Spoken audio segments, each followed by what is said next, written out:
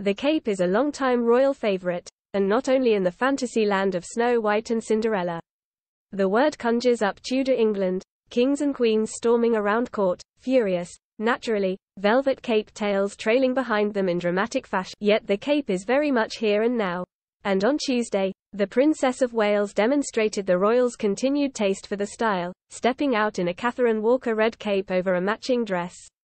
Strangely for an item so regal, the cape, a stylized version of the cloak, has utilitarian roots.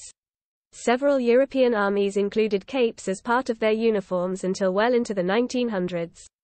But in the 1950s, fashion co-opted the cape as its own, to the benefit of women everywhere.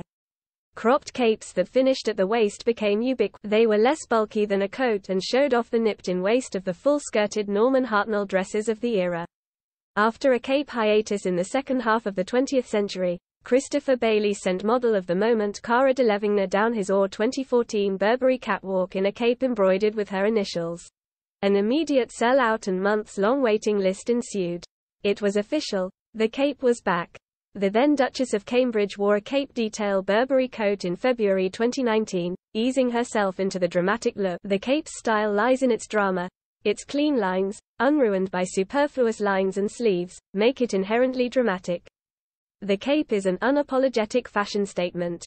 The elegance created by its seamless shape makes it smart enough to wear over evening wear where a coat would look too casual. Princess Diana knew this, wearing a black velvet cape over evening dresses several times in the 80s. It's the only item of outerwear that didn't look out of place next to her dazzling tiaras. Barbours don't really go with gobstopper emerald chokers from the royal collection, darling.